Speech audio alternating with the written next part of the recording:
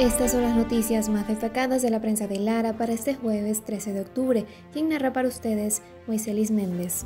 Ante las carencias de infraestructura, dotación de insumos y hasta de servicios públicos en las universidades de Barquisimeto, los mismos estudiantes, profesores y autoridades, con aportes propios y de empresas privadas, se han encargado de devolver el brillo a estas casas de estudios. En el tercer trimestre del año 2022 se registraron 46 crímenes en el estado Lara, casi el 70% murió por recibir impactos de bala en su cuerpo. La Organización Panamericana de la Salud entregó este jueves medicamentos y material de curación para 5.000 personas al almacén central de epidemiología del Ministerio del Poder Popular para la Salud.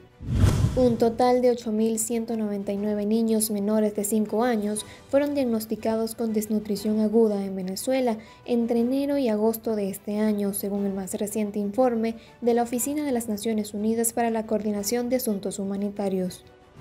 Este jueves, las autoridades de Estados Unidos expulsaron al primer grupo de venezolanos a México luego de las nuevas medidas migratorias del gobierno de Joe Biden. Puede ampliar estas y otras informaciones visitando nuestro portal web o nuestra edición impresa de mañana viernes 14 de octubre.